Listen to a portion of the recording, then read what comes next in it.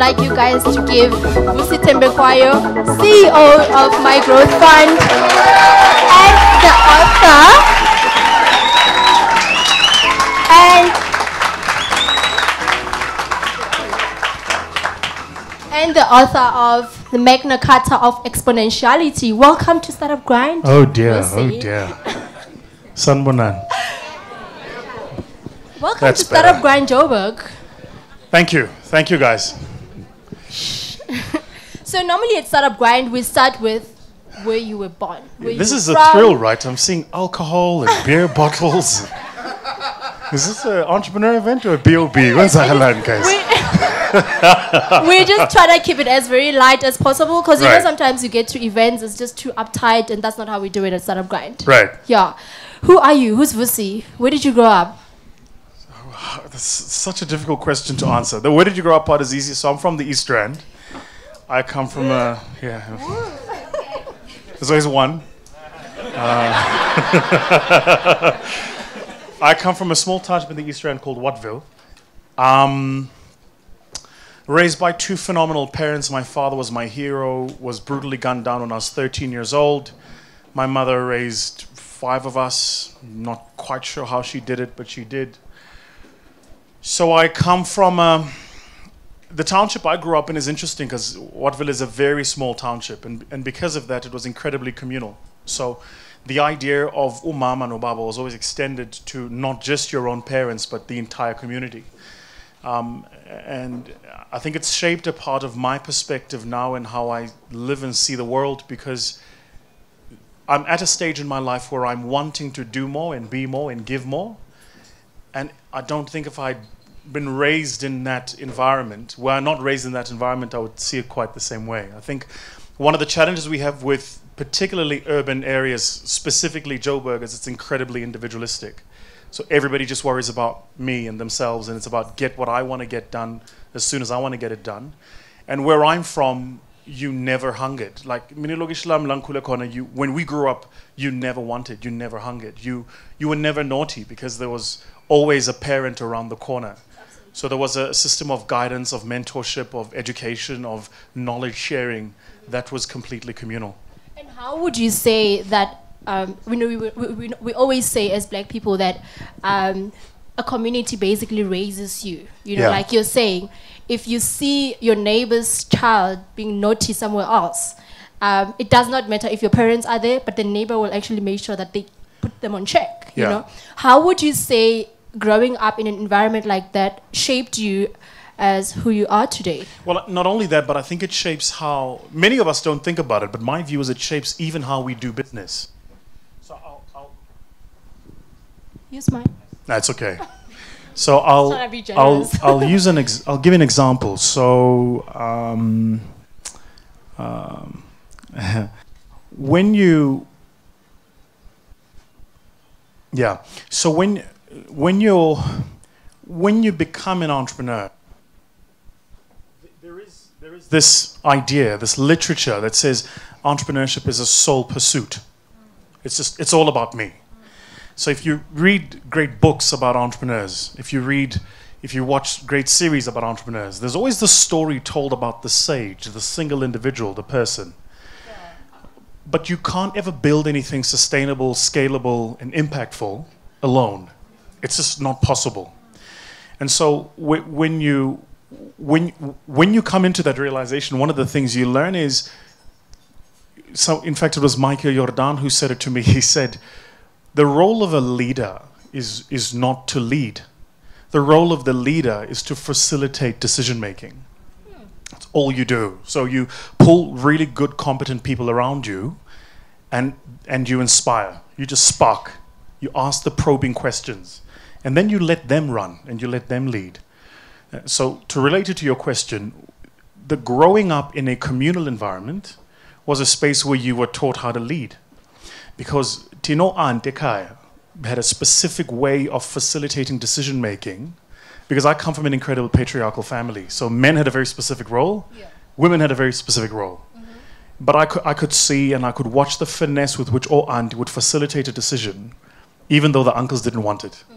You know, I would watch how my mother would facilitate a decision, even though my dad didn't want to make it. and and and you learn quite intuitively, uh, almost how to get people with whom you have, or over whom you have no authority to do what you want. I want, yeah, wow, fascinating. I want to go back to the beginning of your career. Yeah. Uh, please don't. I, I have. Have you ever been an employee at some stage in your life? I was an employee. I was a bad employee. Like every entrepreneur that I engage with. No, I was I was a uh, yeah. So I was a bad employee because I was so. So I'm, I'm very fast. I'm fast to the knowledge. So so you never so you never have to tell me something twice, and typically when I learn something, I get so engrossed in it that the next time we talk about it, I'll know more than you do. Right. So it's it's it's in my nature. Um. Tell us, tell us more. What So- did you used to do? where, where I'm from, um, I've said this before. I don't know how to be second. I wasn't raised that way, so I don't. I don't. Um, and and it's it's a. I don't know how to be second. I don't know how to subordinate. I was not raised that way. I was raised. I was raised to believe I'm a king. That's how I was raised, and I was raised to believe even if I walk into a room and I don't have the means, I can acquire them. If you send me to the jungle, I'll come back the head of the pride. I'm that guy, right? I'm like, so, so there's a, yeah. So there's a, so there is a, there is a, there is a certain psychology that goes with that. Now, when people don't know the, the, the genesis of the psychology, they'll have words for it. So they'll call it arrogance. Yes. And it's just because they don't get it. So the reason, so you asked me the question, what kind of employee was I? And the reason I was a terrible employee was one, I could never subordinate. So I never bought the idea that because somebody had a different title, they were better mm-hmm. or knew more. Yeah. I just, I just thought they had more experience. But experience is a function of time, right? Which is the only variable man can't control is time. Mm-hmm. So mm-hmm. if I can't control the experience or the time aspect, the only thing I can control is the knowledge acquired over time.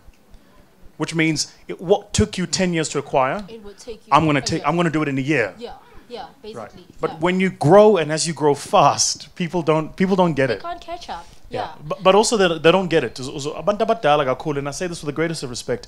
Abantu abadala, abantu abadala don't get it. So they so when you are young and you're certain and you're steadfast and you're driven and you're they, they, they don't they can't place you. And the reason they can't place you is because the people in their family at that age have a certain level of maturity and perspective. Yes. But that's just so. Yeah. I, I was a, I was a terrible employee. I went through performance review twice. Um, I did. I was fired for my very first job. okay.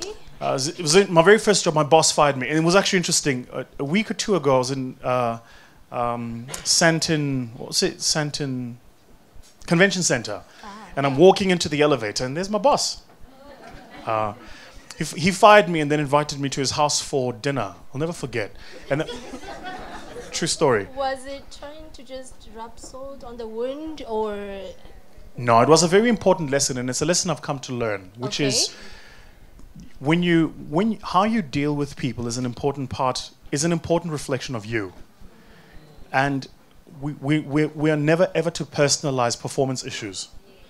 So we can be friends, but when we meet at eight o'clock, if my role is X and your role is Y, do your role, and and I will keep you accountable to your role.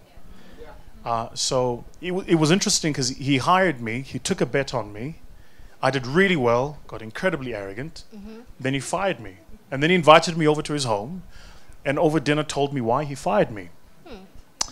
And, and to give you a sense, Closure. I, you know, I, I could have, because, you know, the other thing about this country is we have a strong labor regime. So I could have gone to the CCMA, but I didn't. Because Yeah. the way he handled the whole thing Yeah, yeah. was so important. Coincidentally, many years later, um, he rehired me. Uh, and that didn't last long because by then I was like, "Yeah, but now I'm clever. Now you're not. Now.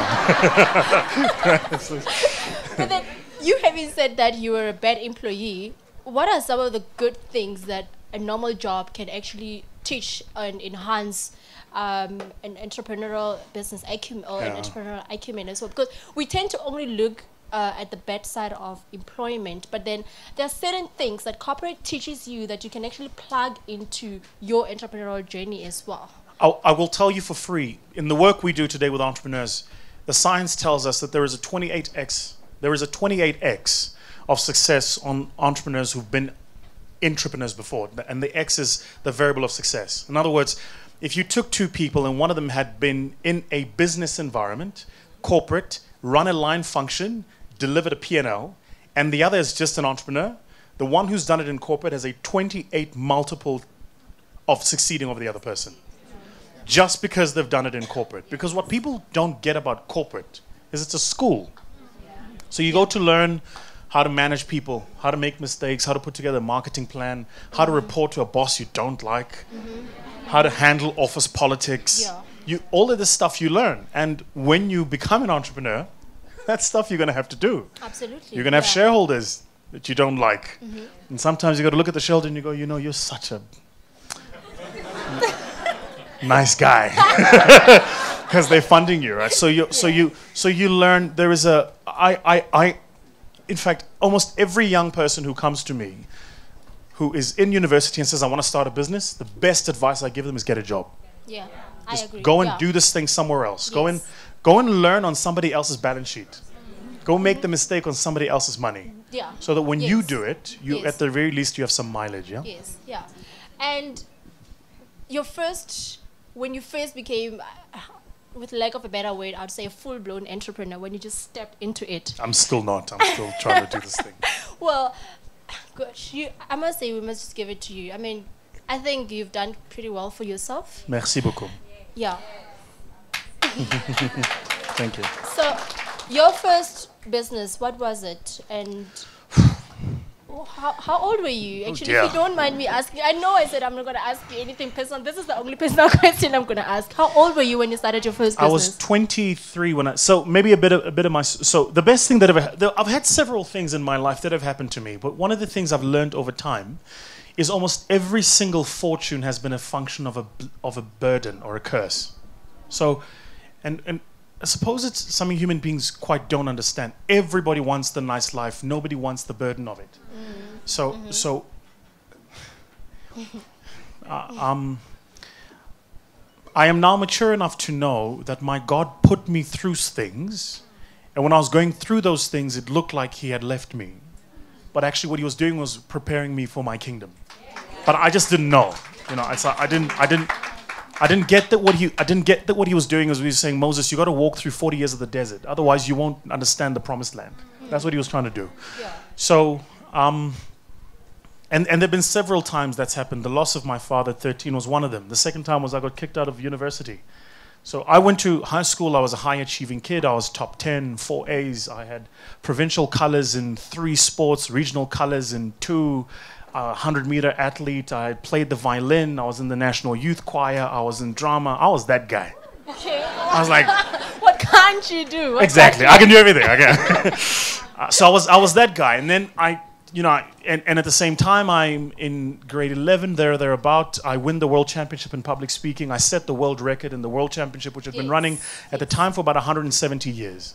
Right. So, and so you go through massive hiatus of like success, and then I went to varsity, and I just got lost in in the crowd of varsity, hmm. and I didn't do well at the end of my first year.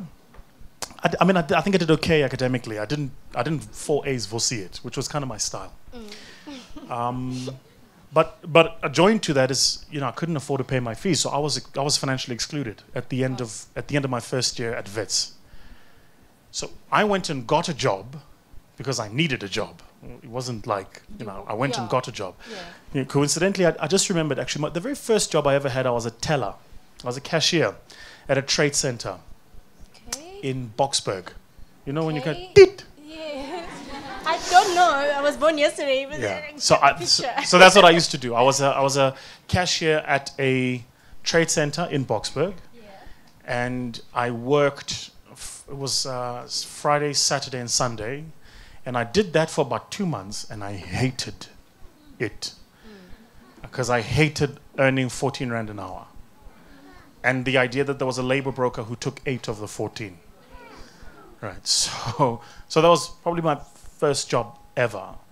Um, so when I left employment and started my business, I, what happened, you, I don't know if any entrepreneurs have ever done this, but entrepreneurs, we, there are two types of entrepreneurs. Are those that go, ah, ah man, that's that guy. ah, so born, eh? right? And those that, and typically, and, and the and the latter will be typically women. That they're those that are very methodical and they plan it and they have a budget and how much money am I going to spend and when and how much savings do I have.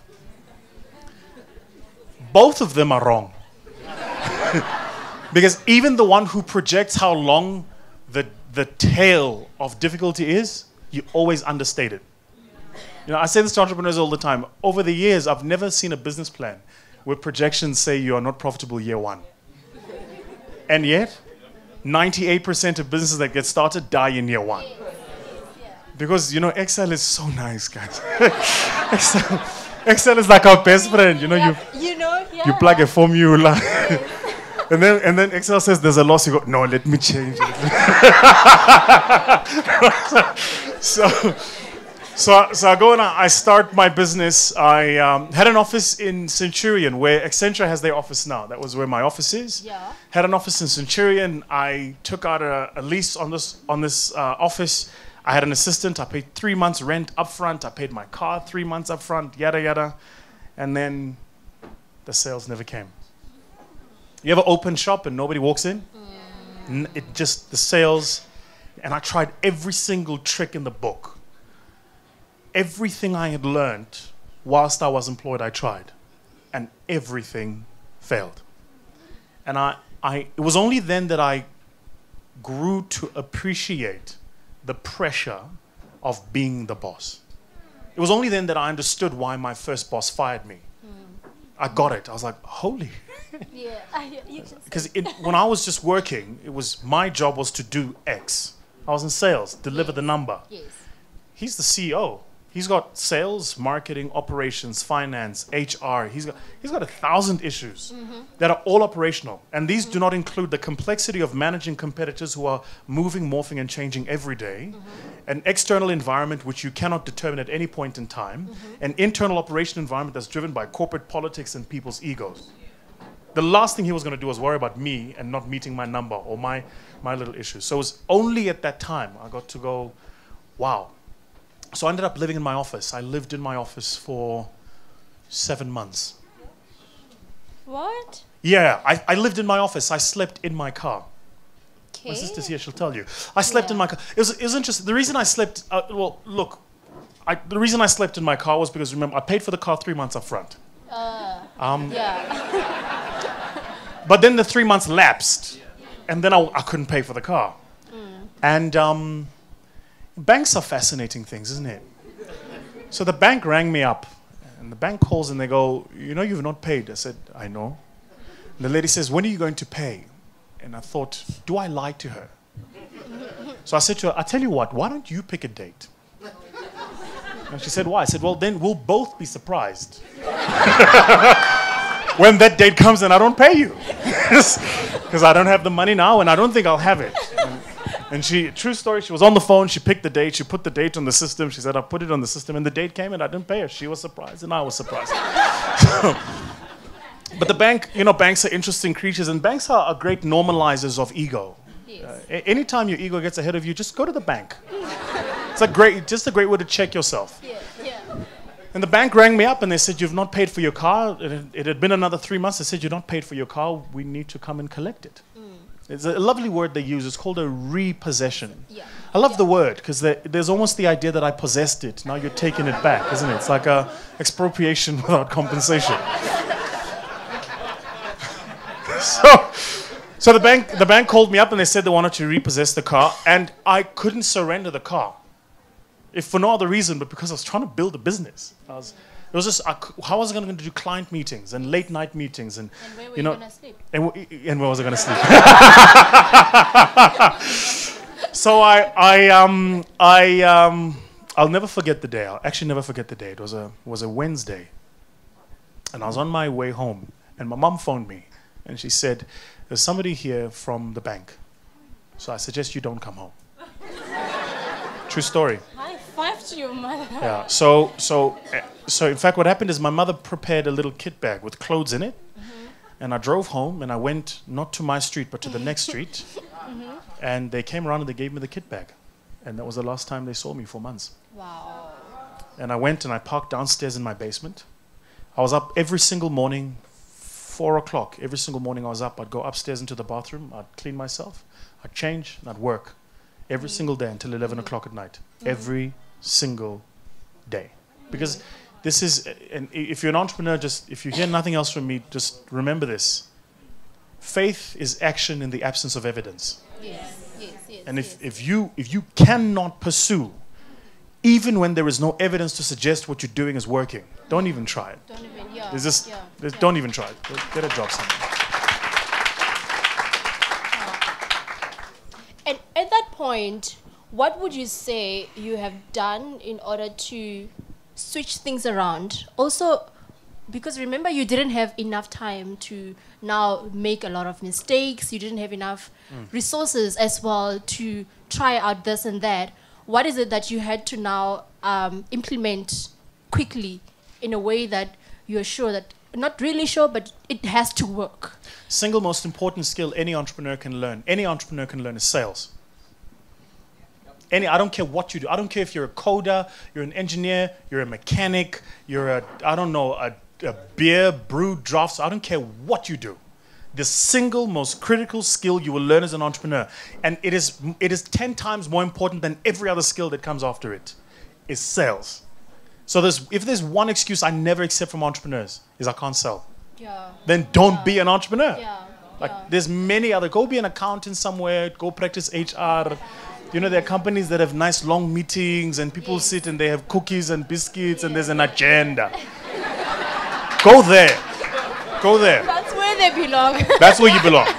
But in in our world, we sell. So so I like that. so, that, I so, like so that. that's the first thing. And, and the second thing I want to say to your, to your question is I also hate entrepreneurs that have the idea that they've got to have runway before they start a business. Mm. And there's this pervasive culture now in South Africa. You Mm. know, people go and create a business plan, and the business plan I say I need 18 months runway, and I'm going to raise, raise capital, and there's 18 months. Who's runway?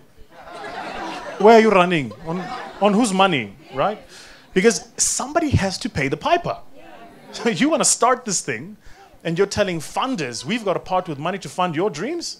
I got my own dreams, player. I'll fund my own dreams. Yes, yes, yes, yes. So, the, the single most important skill you'll learn is sales. So, what did I do? I sold. I used to do this thing called burn the line. I still, in my business today, the team will tell you, I still tell them, burn the line. You know what that means? It means you pick up the phone, you come up with a telephone directory, and you do not put that thing down until you close a sale. wow. I don't care what you say. What are you selling? HR consulting services? What do you, how do you think you're going to do it? Invite people for coffees at uh, Melrose Arch? Doesn't work. That won't work. Yeah. Run an email shot on MailChimp? That won't work. A clever little campaign on Twitter, or Facebook? That will not work. Get on the phone, get a directory, pick up the phone, and dial the fucking number. That's it. It's not. It, it, re- I mean, uh, it's, it, it really is not that complex. Even today, people don't, guys, don't, even today, I sell. When the team has the sale they've got to close and they need the big hitter, they pull Vusian.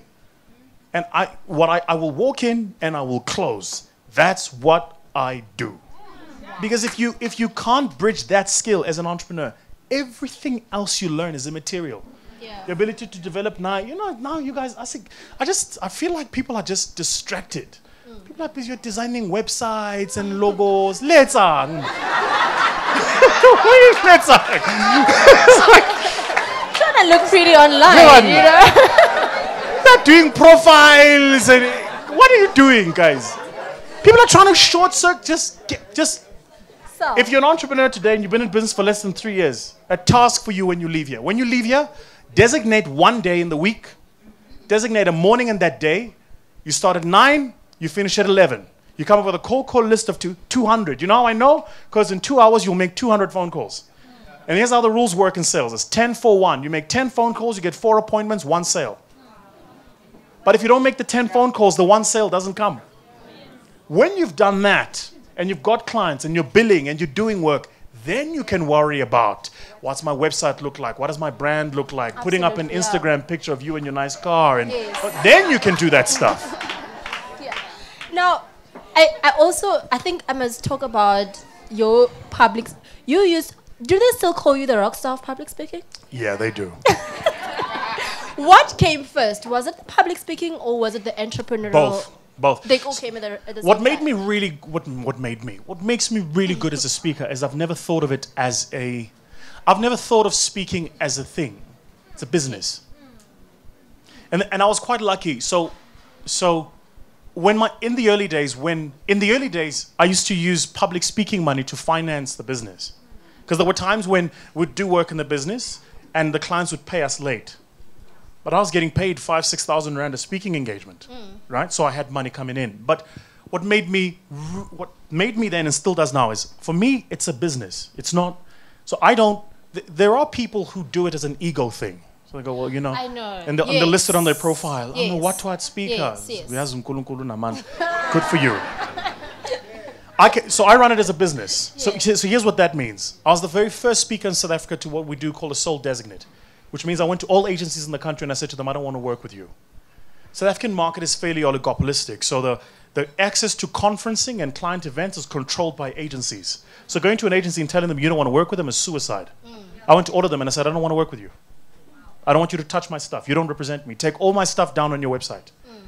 The reason I did it was because I understood a very simple fundamental law of marketing, which is he who sells the product controls product placement, positioning, and sentiment. And if they were selling me, they were positioning me next to speakers they had no business positioning me next to. Yeah, yeah. So I'm, I was going, I was going, I was going, guys, do you understand that I've got now four? But at the time, I was like, do you understand that I've got like two degrees? I'm building a business. Mm-hmm. I'm working these kind of hours, and you're comparing me with this guy. No. Mm-hmm. So take my stuff off. Yeah. And when I did it, my price tripled.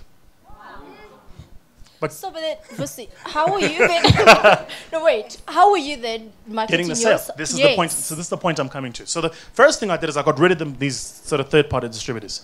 The second thing I did is I thought, and this is a, it's a great lesson for entrepreneurs to try. Just try this for yourself. If you ever lack motivation, if you ever lack motivation, just imagine your worst nightmares coming true. Imagine the worst nightmare coming true. Imagine you've got zero money in the bank account, your biggest customer, your biggest customer leaves you, and your biggest competitor doubles on, on, on revenue. What would you do? Okay, there's nothing like a good crisis to galvanize effort. So, but what I do sometimes is I force myself into the crisis. So I go, things are comfortable. Hmm, excuse my language. Let's fuck shit up. So that's so. So hold on. So so what I did. So I did that, and then so then what I did is I knew now that I've fired them, Yes. I now have to build my own distribution model. Right. So we're going back, guys. This is 06. I went and registered Vusi as a trademark. Yeah. Wow. Then Vusi Thembekwayo. Then got vusi.co.za. Then vusithembekwayo.com. This is before people even knew about websites. There was no Facebook, no Twitter back then. Mm. I went and did it. Then I went and found out where were the conferencing people going to conferences. They were all going to MICE and SAACI and Oldie, and that's where I was. And that's where I positioned my brand. Mm-hmm. And it's an interesting thing. If you believe in the quality of your product, you don't need nobody to sell it for you. So I knew all I needed was one engagement. One would give me four. Because in the room, there were 200 people. Four of them need somebody for their next event. Yes. Those four give me 16 Yes. and then it's a multiple effect. So, but so I've always thought of it as a business. Mm. Always. I mean, I, I look at any artist that succeeds. Thinks of it. I, I look at Black Coffee. Great example. Mm. I know him well. You talk to that guy. Guy's not a DJ. Mm. That guy's a machine. Yes. Yeah. He understands marketing, product, pricing, uh, operations better than most CEOs of listed companies. Mm. He's a machine, right? He is a businessman. His business is just music, but he's a businessman. Then how do then people get into that mode of using their talents to now, um, you know, make it in, turn it into business? Without, without having to, because I know a lot of, especially a lot of musicians and artists, they sort of like have an ego thing, or like they think that their talent on its Oh. own is going to get them forward. Oh, that's so You know? easy. So there's a there's a there's a guy who used to run a company called Dream Team. I think he's now a record level executive. He, he lectures at, le- at GIBS. His name is Refilwe. He said something to me once. I'll never forget. He's, he used to manage Kuli Chana, and he was having this conversation with Kuli, and he said to him, um, "Talent is never enough." it's just like, I feel like you could write a book and just title it "Talent is Never Enough," because th- there are stories, books, poems that can be written about people who made the presumption that talent was enough. So the reason artists typically do that is because they just want to be the talent. Because they think in their minds, I can sing. I know you can sing, but can you send an invoice? no, really. Can you do it? Can you do a tax recon at the end of at the end of two weeks when you're sending out your VAT payments to SARS? Can you do that? Well, because if you can't do that, you're going to have to hire an accountant who can do it, and you're going to end up with a Toni Braxton. So, and, and by the way, in today's environment, you have zero excuse not to know how to do something. I could understand uh, Sis Brenda Fassie not knowing how to do it. But in today's world of ubiquity of information, the zero marginal cost, the internet of things, you have no excuse not to know how to do something for yourself. Zero. Wow. I want to now fast forward to my growth fund. Yes. Okay, what is it? What is my growth fund? You launched it, was it last year? No, no, no. Before that, we were Yes. we were working with MGF as beta four years ago. Okay. So long before I sold, so I many people. So I had an I had a so I had a business and I built it. So this is what I did. So I built a strong global public speaking business. But what does public speaking buy me? It buys me access. It buys me influence. As we speak on this, mm-hmm. there's probably two CEOs of listed companies I can't call on this number. Every other one I can. And when I do, and here's how you know when you know someone, it's not who you can call. It's when you answer, what do they call you? Mm. Is it a hello or is it Vusi, how's it? Yes.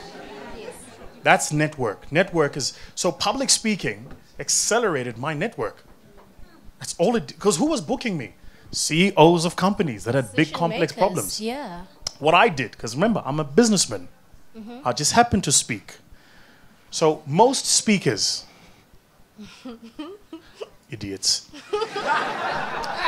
most of these, somebody sold them this American template. Americans did this thing. Americans went and said, all you need is one hit talk, and you can travel America and do the same talk. That's why to this day, he's a doyen of this industry. He is phenomenal. But to this day, you listen to Les Brown, he still talks about, I was hungry. Les was saying that 30 years ago. Do you know why? Well, America has 52 states. It's 300 million people. It's the largest middle class in the world. In America, you only need one hit. Yes. And you can tour 52 states. One state a year is 52 years.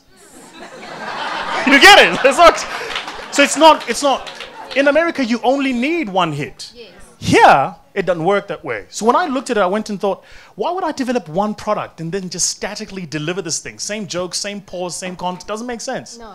Yeah. So what I then started doing is I'd go, every single client that was booking me, I'd go and meet with them. I didn't understand it, but in my mind, I was building the network because the speaker would, the, the, the CEOs went, wait, he wants to meet with us. Mm. Yeah. The speaker speaking at our conference wants to meet. Why does he want to meet with us? He says he wants us to brief him. Brief him? About what? so then I go and meet. Now I meet Stephen Koseff, who runs Investec. And I said, so tell me about your business. Mm. Tell me about what's happened. Tell me about where you started from. Tell me about the challenges you're facing. Tell me about the strategy of the firm. Tell me where you see it in five years' time. Who else gets this kind of access? I walk out, I've got a direct relationship. And then what I did, and this was, it's still to this day, it's my competitive edge. Every single engagement, every single client is tailored.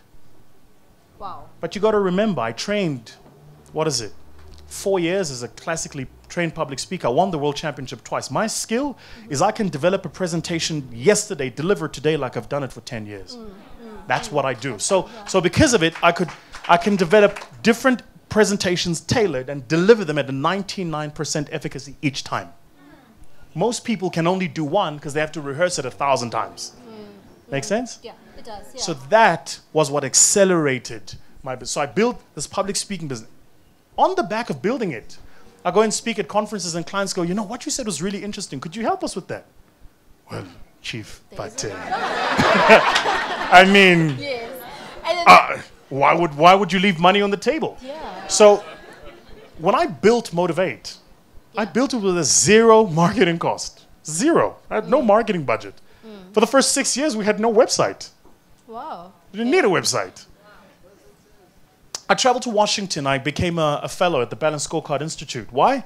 Because in 09, 2010, I was implementing balanced scorecard implementations long before people knew what balanced scorecard is. I've since forgotten what balanced scorecard is because my life has kind of moved on and now everybody does balanced scorecard. Mm. So the point is, when I then, so, and how did I know there was a client? In fact, I'll tell you, it was the AA. They were implementing a balanced scorecard process, mm-hmm. and I, they asked me to come and speak at the conference. And that in the middle of it, they said, "Can you help us with this?" I said, "Oh, I don't know what it is, mm. But I'll find out." And I went and learned, and then I came back. I was a fellow at the Balance Scorecard Institute, developed a product, and started selling it. Mm-hmm. I made maybe 30 bar mm. over the years selling just that product. Mm. But, but the point is, put yourself in that space, be aggressive, learn, be hungry, be humble, be willing to learn new things all the time, and don't sit with version one of the product. Mm. Iterate this thing as often as you can. Get better every single time. You have, you have- if you have an employee, and this is the test if you're an entrepreneur, if you have an employee today, you fire them, if they come back in three months' time, they shouldn't recognize what you're doing. Absolutely. I You should go, Yeah. whoa, you've moved so fast. Go, yeah, Yeah, yeah. right? And then the birth of my oh, did I say my name? the birth of Yeah. my growth fund Yeah. was why does it exist? Who is it for? So, so, so anyway, so I build Mo- uh, Motivate. I get an offer from an American group, and they go, "We want to buy your business." I'm like, ah, "I'm not selling." They come back, "We want to buy your business." Ah, I'm not selling. They came back a third time, uh, fourth time when they came back. Jacob Zuma fired that guy called Nhlanhla Nene. and then and then the rand went this way, and the dollar that way. Yeah. And I looked at what they were offering, and I was like, "It's a- "This is a pretty good time to sell." Yeah. So I sold. Yeah. Um, So why do so you ask the question? Why does my growth fund exist?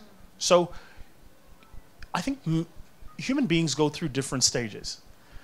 First, we go through the stage of wondering whether or not we're capable.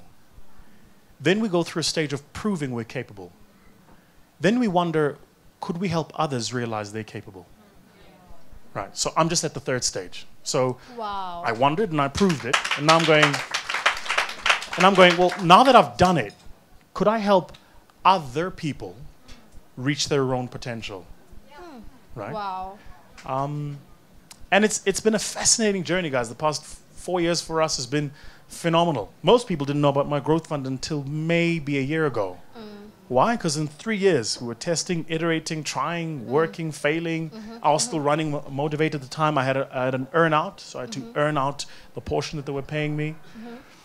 But but now that we exist and we're fully in the market, we are purely focused on working with entrepreneurs to help them realize and recognize what they are capable of. That's why it's called My Growth Fund. Wow, that is amazing. Um, before I want to talk about your book, of course, and before I get into that, I just want to ask if you guys have any question for Vusi. Okay, just say your name and just try to speak louder and keep your question as brief as you can.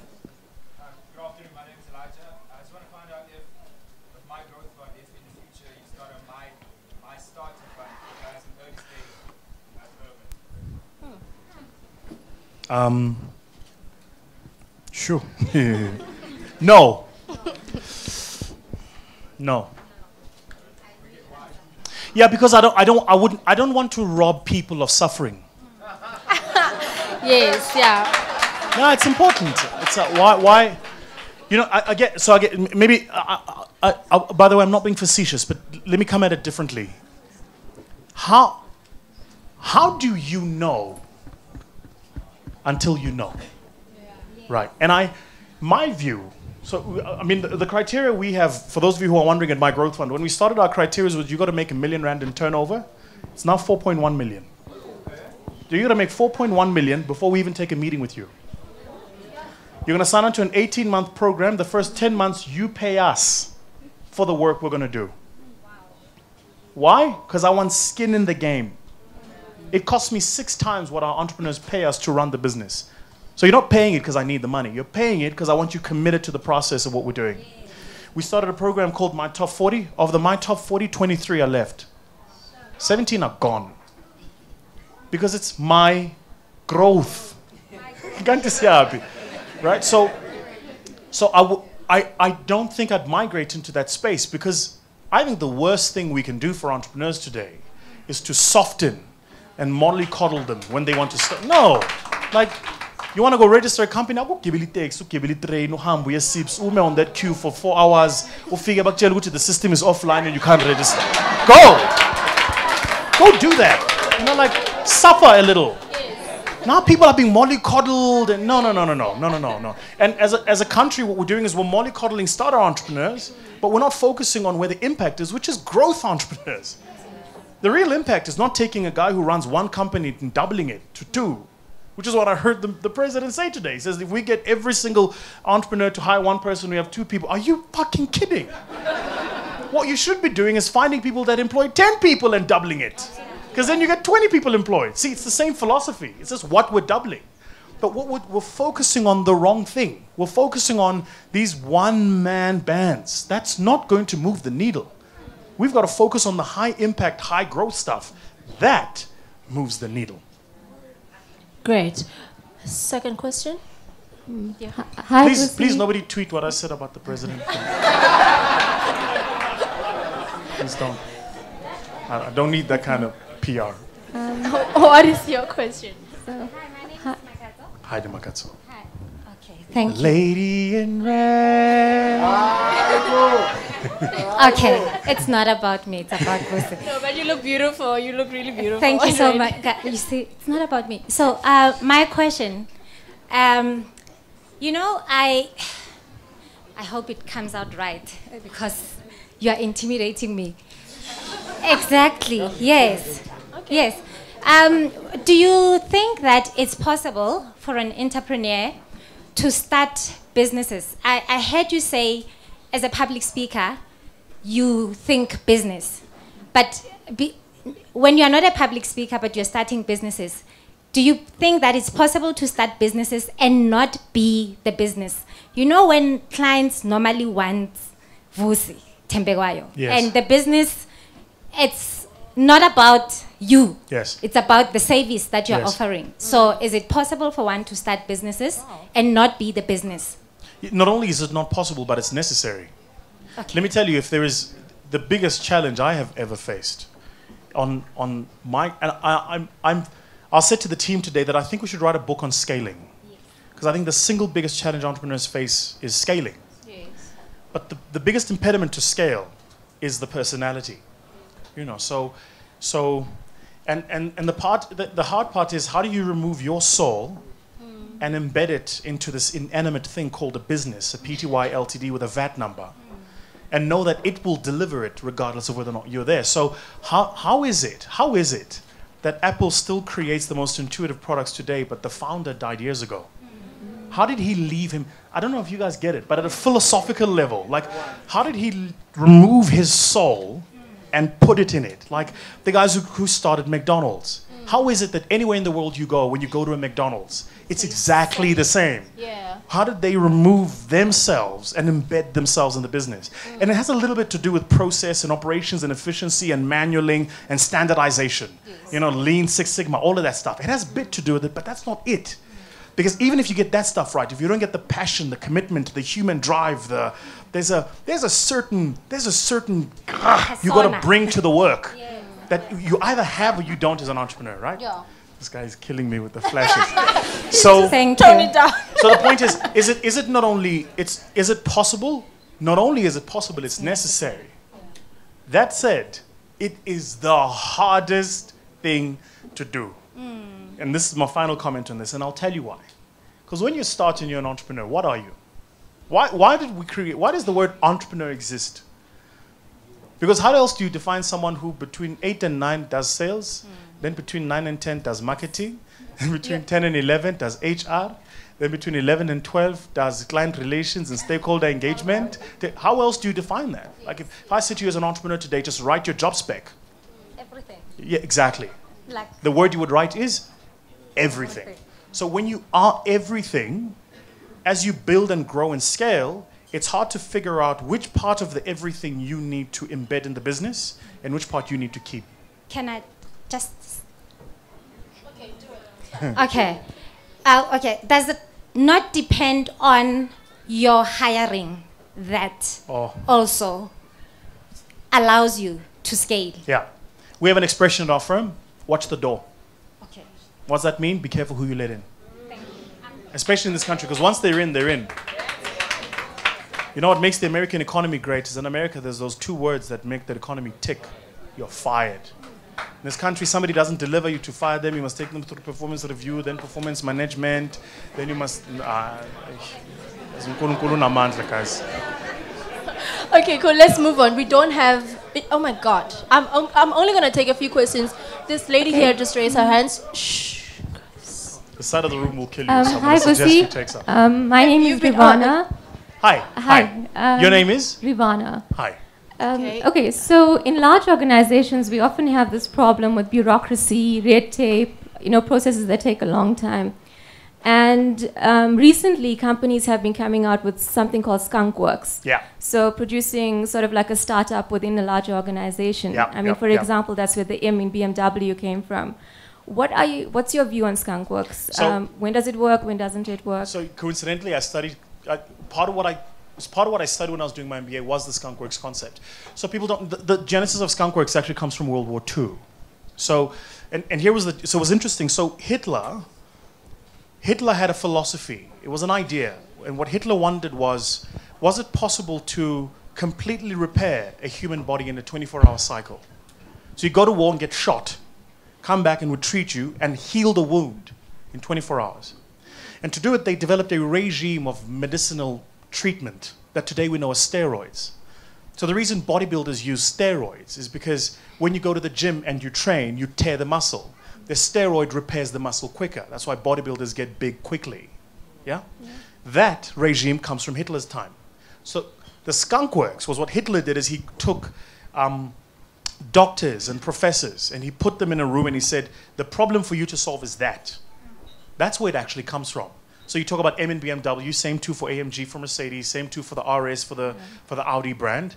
These are all parts of the business that take what the business does and think about how do we make it agile, more fitting, and more responsive to the customer's requirements. Does it work? With very limited success in corporate. And I'll tell you why. Uh, a dear friend of mine is a fellow called Jørgen Knudstorp. He's the CEO of Lego. He tried it. When he took over Lego, it was it, Lego was, by the way, still family owned. It's the largest family owned. It's the second largest family owned business in the world. But when he took over Lego, they were they were bankrupt. And Lego's in Billund in Denmark. Beautiful. If you go to Billund, Denmark, and I've been, the entire city of Billund is just Lego. Everybody who lives there lives, breathes, works at Lego. So when he took over Lego, what he did was he took the skunk works and he embedded it in Silicon Valley. And it didn't work because those people were not embedded in the culture of the business. So what we're learning today in management sciences is what actually works when you want to do successful skunk work concepts is not to take people from the business and put them in a separate part and make them some special class. It's actually to take out, bring external people and embed them into strategic parts of the business so that you innovate the whole, not create a subunit of innovation. Because every time the subunit of innovation comes up with a product or an idea or a concept, the whole rejects it. Just think about it. If I'm working at a place for 20 years and they go and hire these young people now who are going to come up with stuff, if I run the P&L, every time those young people come up with something, I'm going to find excuses why it doesn't work. Okay. Cool. Thank you. Last question. Okay. Yeah. Hi, Vusi. I'm Zandile. I just want to ask, um, throughout your journey, uh, is do you have like your one biggest regret? And if you do, what is the lesson like that you can share with us, if any I don't have regrets, only lessons. lessons? Okay. Yeah, so I, I the word regret to me seems in, it just it's hev- it's a very it's a very heavy word. Okay. Regret. There's almost the assumption that I'm without power or without agency, and I, I if there is one thing I reject, it's the idea that I don't have power or agency. That's rubbish. Even poor people have power. Um, y- your, your, your choices might be limited, but you still have them. So I don't have I don't have uh, regrets. I suppose I'm sad about the fact that I went for many years without talking to my mother. My mom and I, my mom is to this day still my hero. Still, uh, I, uh, there are not, in the length and breadth of the English language, there are not words to describe how I feel about that woman. There, there just aren't. But for many years, my mom and I had a strained relationship, and and and I'm, it's still something about which I'm sad. I'm, I'm, very happy today that we're really, really cool. In fact, I was talking to her on the way here. That we're really, really cool. We have an amazing relationship, and it's interesting because we, my mom was, my, my brother and sister are both here, and my, brother and sister will also tell you that they resented me growing up because they feel like I was the special kid who got everything from my mom, and in their defense, it's probably true, but that's also because I'm good looking. so. So anyway, so so so you know, I'm, I'm, so my mom was always there, always supporting. I mean, just think about it: a single woman raising three kids, in fact, five kids, um, on less than what it cost me today to put a full tank of petrol in my car. You got three kids going to Model C school. They do extramural activities. There's, how do you make that balance? To the, I still don't know today how my mother drew up a budget. Um, I'm I'm gonna tell you guys a personal story. Okay. Uh, please don't share this. I never battled with taking off a lady's bra. No, because, because when we were younger, my mother couldn't afford to buy underwear.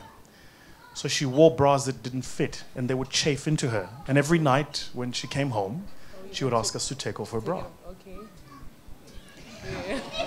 Now it sounds like him- to, for, yeah. for a woman to make that kind of sacrifice. You, you gotta. So that's what my mother sacrificed for us. Then we went through this very difficult period, and now. We, so I, I'm I'm sad about that. But sad about today that I don't get to perhaps spend as much time with my kids as I'd like to. So I'm also very obsessive, um, which is remember my thing. You learned it in ten years. I'll do it in one. It's not just the philosophy. I live it. So. For instance, even though we're in the same city, my family lives in one place, I live in another. I live in an apartment which is a block away from the office. Why? Because between Monday and Friday, there are no distractions. I'm fully about work. I could drive to my kids in 20 minutes. But Monday to Friday, they know dad is at work. And there's, there's no debate, there's no, it's very clear in their minds, it's fixed. I'm, so I'm quite nomadic like that. But, but you also have to schedule your life so that it works like it. I hear entrepreneurs today starting businesses, and you're in, you're in the very first 10 years and you're talking about a work life balance. In 10 years, work life balance. Yeah. There's no such. Would you, I mean, you, you've, you've got a, the only guy who succeeds is the guy who's willing to do what the other guy's not. Right? You're going to leave at 8, I'm leaving at 8.30. You leave at 8.30, I'm leaving at 9. You take an hour lunch, I'm taking a 30-minute lunch. You get it? So, so you've got to bring that level of intensity, commitment to everything you do. Success, guys, I'm convinced about this. If somebody wrote a formula on success, nowhere in it would be good looks and personality. Nowhere in it would be luck or where you were born into. Success is just time, application, commitment, effort, and ruthless dedication to what you do. And I know you stress a lot about being the best. Yeah. I don't know how to be number two. Yeah, like, because I mean, I, I was reading one, one interview um, on, online, and you said, I think this lady was asking you, what can you say about female entrepreneurs and female black entrepreneurs? And then you said, yes, you're black, you're female, and then what? Yes. You know, Yeah. do people want your product? Are you good? Well, You not know? just, not just, if I may, if I may, and, and I know we've got another question, but not just to black females, but, and I'm going to say something which, if somebody here tweets it, I'm sure Black Twitter will have a field day about it, but what the hell? It's not just a message, I think, to black female, it's just a message to black people. Hmm. So, I'm, I've not yet, I've not yet, I've not reached my pinnacle. But I've, I've done well enough to know that nowhere have I done well because I'm black.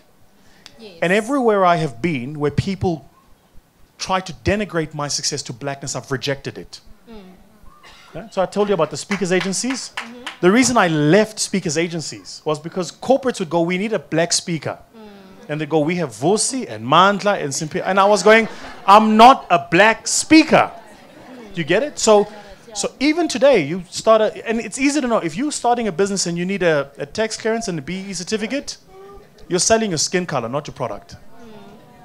It's not rocket science. So, so just if you if you are ruthlessly committed and dedicated to what you do, that stuff just doesn't matter. Mm. Okay, we have to wrap up now, but before we before Oh, we you- let you- you, you- leave. I- I know Oh my Elif is God, putting you she's under gonna come on me. I know. let's, let's, do you guys want to take another 10 minutes? How do you okay, cool. Strictly ten minutes. Sorry. Yeah, just answer your question, girl. Ask ask your question. Yeah. Just speak louder. Yes. Thank you very much. Um, Osi, thank you very much for connecting with me on LinkedIn. I've been wanting to work a lot with um, you, obviously work with you in a form of me checking out what you do. So this is Ntabi. Ntabi is a, a founder of IL Design, which is a design company. And at the same time, she's a founder of Real Talk with Ntabi Foundation, which deals with public speaking and motivational speaking. But what I want to turn around is how to link the two. Um, and I even got to a point where my business card has my business side of things and my motivation. But now I feel like I need a strategy to make all of this work for my business because I'm also, I don't want to consider myself just, just a startup, but I believe that there's so much growth in my company. But now, how do I find the better strategy to, to put them together? I'm not sure if you get what Yeah, I mean. I understand. Uh, it's a very simple question to answer. Strategy, when you're an entrepreneur, strategy is a fallacy. It doesn't exist. There's, there's no such thing as strategy. Not in the first three years of your business. Strategy what? There's no, there's no, do you know, do you know, I'll tell you, I'll tell you an interesting story very quickly. When I was, when I was doing my MBA, I was taught strategy by this phenomenal fellow. He was a, uh, an Arabic fellow from, uh, I think Syria. And he said something that I, I will never forget. He said, strategy is not a thing. It's a series of things. So even the idea that strategy is a singular is wrong. Uh, anytime something has worked strategically, the reason it is strategic is because there have been a thousand things involved in it. So when you're an entrepreneur, there are no thousand things. So at best, you can be tactical. Right. So the question you're asking is, what tactics should I deploy to link the two? And then I'm going to tell you an answer I tell everybody in my company. There's a guy called Karl Westvig, a company, he runs a company called Retail Capital. We produce a series on My Growth Fund, our YouTube channel. And uh, I've just, there's a, we just published uh, an interview that I did with Michael, and Karl is next. Karl said something to me which was interesting. He said, in business, in the first three years, your best odds of success is about using the case method. So I said, what's case? He said, copy and steal everything. so you, you want to you wanna figure out how should I be linking them? There is, and if you're an entrepreneur in the room, listen to this. There is no problem in the world an American has not solved. None. I promise you now. So if I was you, rather than spend time trying to create, I'll just go, who else doing? has done Yeah, this? And then you case. One last question for the gentleman that side. Just speak That louder. side. Oh, I Vusi. Sorry, that side. Oh, I think that side had enough people. Good evening. Um, I just have a question around the actual ecosystem on the, the entrepreneurship ecosystem in South Africa. What your feeling is towards um, incubators and accelerators and the proliferation of it, and whether it actually really um, adds the value that it should, and how do we actually fix it? You look familiar. You and Dragon's Den. Unfortunately, yes. I remember you. No, I was at the gym. You did the business with a with a pod to connect, right? It was luminous. Yeah. Um,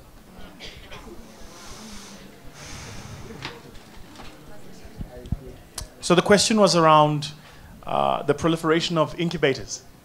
Yeah. Look, they, it can't be bad, I suppose. Uh, we're, we're busy building an incubator now. We've got one going down in Toyando. We've been working on it for a really, really long time. Uh, it's taken us a really long time. Uh, we have a specific, we have a specific go-to market with a very specific philosophy of what we want to do, right? And I'm quite fixed on the philosophy of what we want to do and the problem we're solving. Um, so it can't be bad that they're there. It really can't. What I would say though is I think entrepreneurs will thrive whether or not they're there. So that's the first thing I want to say. Then the second thing, and it's just uh, sort of a closing comment to your question, is we in, in South Africa have not thought long and hard about how do you actually build an entrepreneurship ecosystem. So what we do is the quick wins. The law says you want to get points on your BE, spend money on ESD. So corporates spend a little bit of money on ESD. Frankly, they cheat the system. So they come up with some program which doesn't work. They have a big launch event, and then nothing happens for 12 months, and then they'll do it again the following year.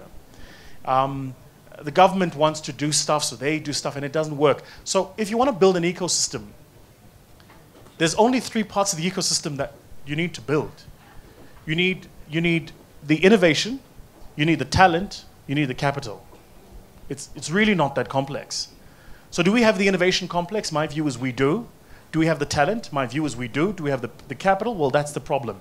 In, in the US, and I, I don't want to drag this question on too long, but I just want to answer, the, uh, if you'll allow me, I want to be, give him a full answer. Mm-hmm.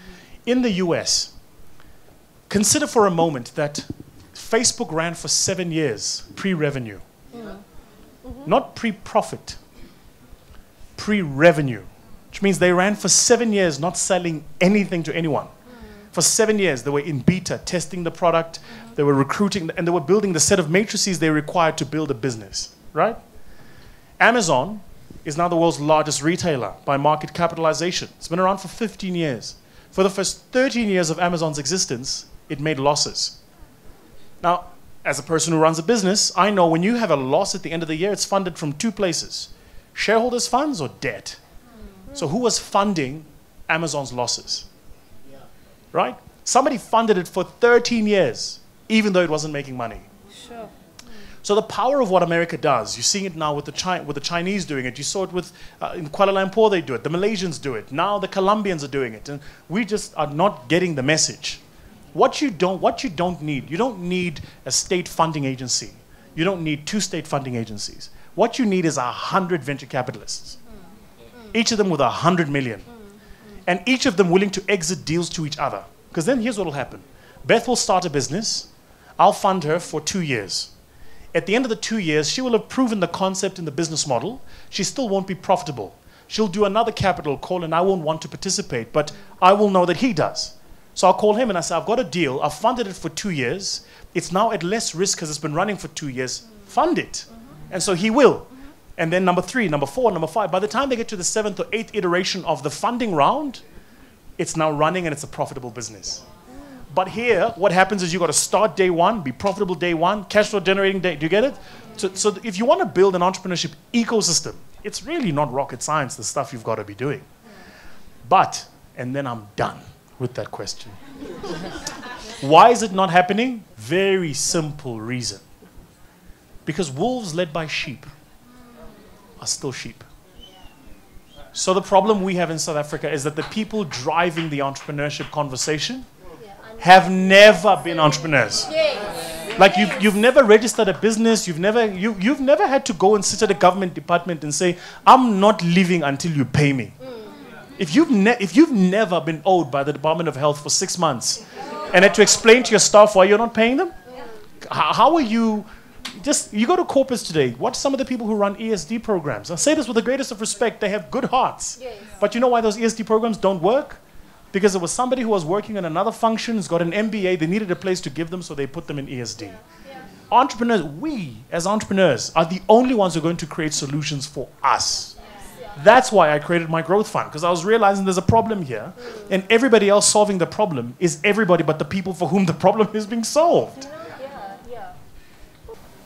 Oh man, there's a beautiful line by Drake. He says, he's, he's, it, "It's a how? what happened?" Drake's a philosopher. Drake's a poet. I live on hip hop music, by the way. There's, there's a beautiful line, line by Drake. He's talking to his mother and he says, Don't ever take advice. That was the best advice. So, the best advice I give to entrepreneurs is even though I'm going to give you this advice, when I'm done, don't take it. And, and I'll tell you why. Because if I listened, I wouldn't be here. Like if I listened when they told me don't do this, don't try that, I wouldn't be here. The, the, this thing is called entrepreneurship because I must walk, I must trailblaze, I must walk this path alone. So to, so to answer your question, so I'm, so I'm saying I'm going to say what I'm going to say, but you, you know, you've asked what's my my advice. My first piece of my advice is don't take it. Then the, sec- the then the second thing I'm going to say is so what's my view on diversification versus focus? I, I mean, I, for me, there's, there's almost intuitively I want to say to you that there's almost no question no question. Like you, you.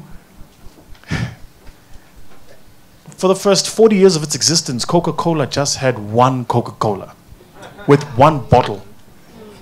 Yeah? So, today it's very in vogue. You find entrepreneurs that create Madlamini holdings. And then you say, So what do you do? Well, I, I'm in construction, and then I'm in energy, and I'm in catering. And Yeah. what are you doing? Like, what's that? What are you doing?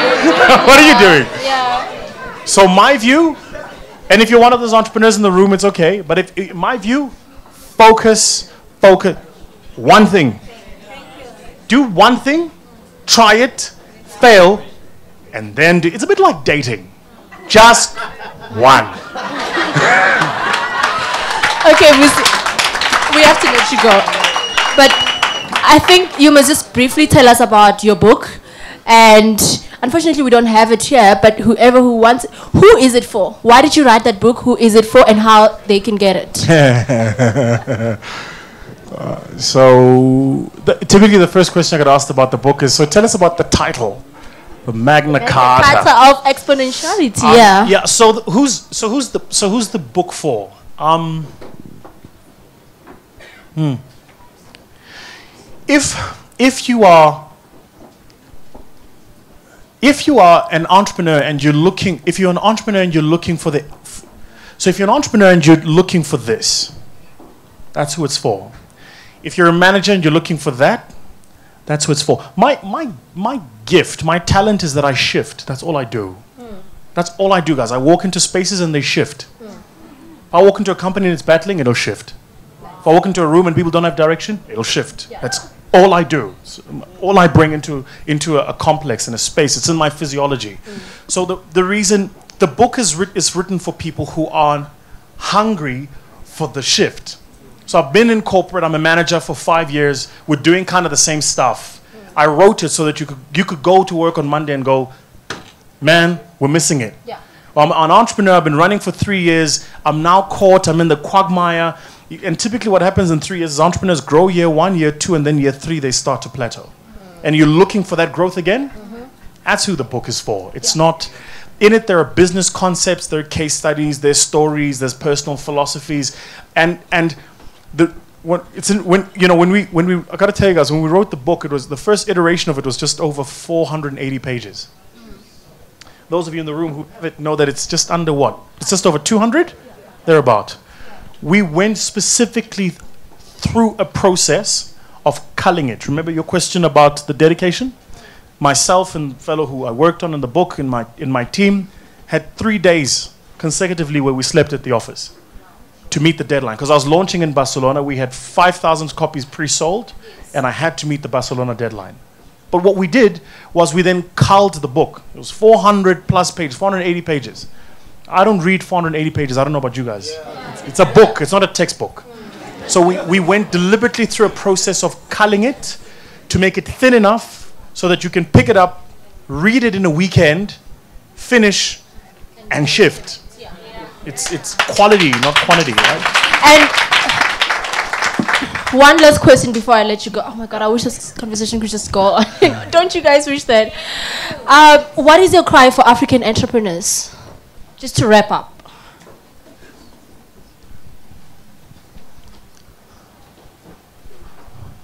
Just wake up. You guys are sleeping.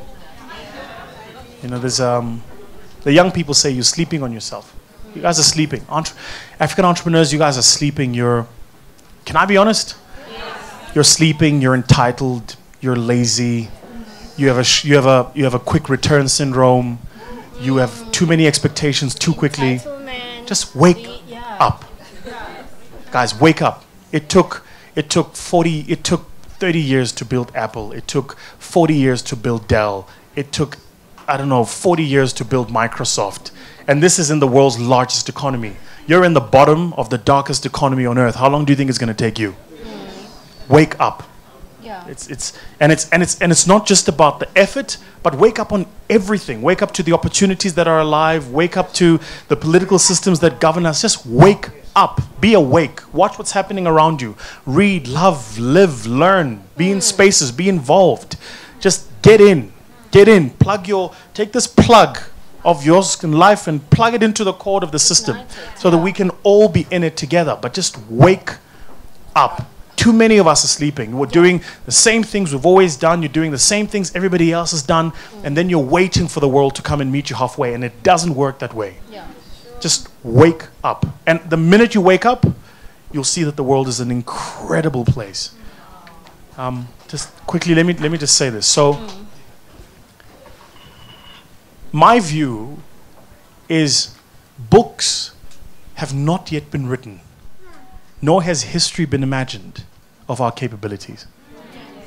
The greatest thing that ever happened to Africa when they denied us endeavor, enterprise, individuality for hundreds of years was that they gave us no template to copy. So why are we copying it? Every single person in this room, do you get when you're an entrepreneur, you are version one. You're it. There's never been an us before. Before this, they were in trenches at our age fighting for stuff. We are version one. Let's wake up, write the template, do the crazy wild things. Let's make mistakes. Let's let's you know, let's just let's wake up, guys. Yeah. Thank you so much for coming through.